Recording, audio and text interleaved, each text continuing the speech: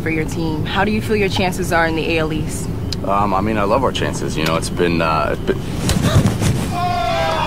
Man, guys, keep it on the field.